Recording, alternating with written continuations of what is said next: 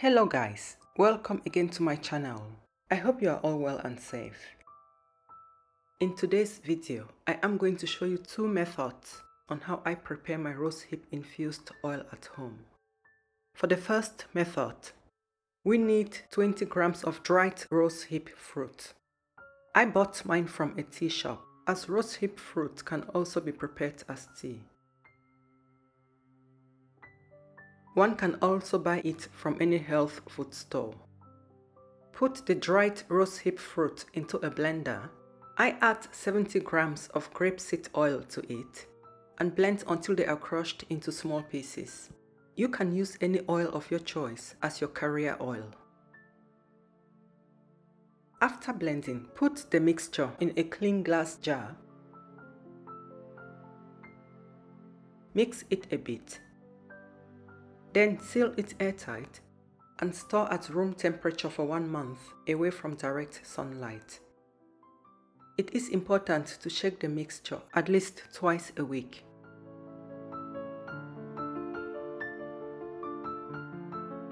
After one month, you can filter it through a cheesecloth.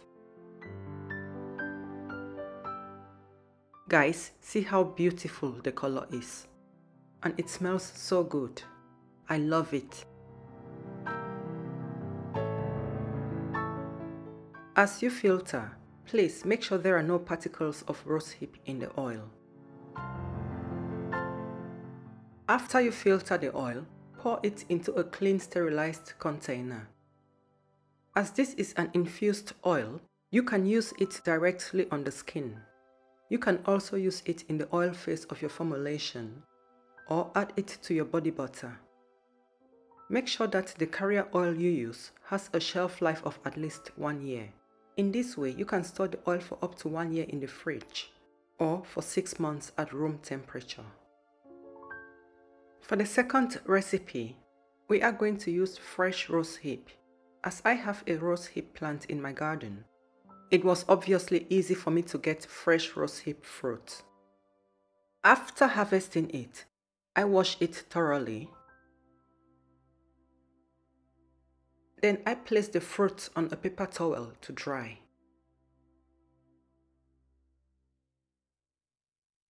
When the rosehip fruits are dry, we cut off the ends of each fruit.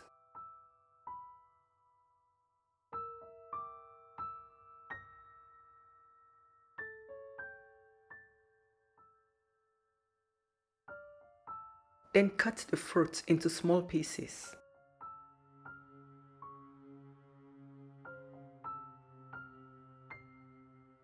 After cutting the rose hips into small pieces, put them in a blender and blend until they are crushed. Rose hip oil is rich in antioxidants. It contains vitamin A and vitamin E. It nourishes and smooths the skin, lightens pigmentation, and helps to fade scars. It slows down the aging process and the formation of wrinkles.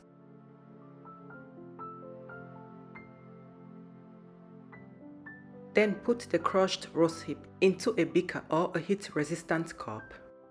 Add any oil of your choice to the rosehip. I am using grapeseed oil. Make sure the crushed rosehip is completely covered in oil.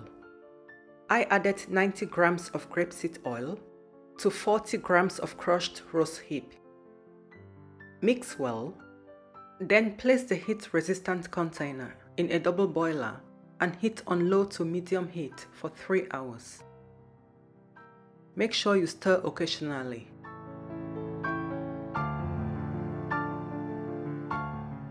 After 3 hours, remove the container from the double boiler and set aside to cool.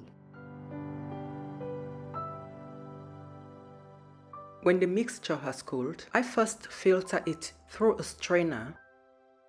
Guys, which method do you prefer? This hot process with fresh rose hips or the cold process with dried rose hips? Please comment below. I filter it again through a cheesecloth. Please leave a comment below and let us know what oil you will be using if you intend to make your own rosehip infused oil. And here we have our hot processed rosehip infused oil. As I mentioned earlier, because this is an infused oil, it can be used directly on the body or the face, depending on your carrier oil. I cannot stress this enough. Please, make sure that the carrier oil you use has a shelf life of at least one year.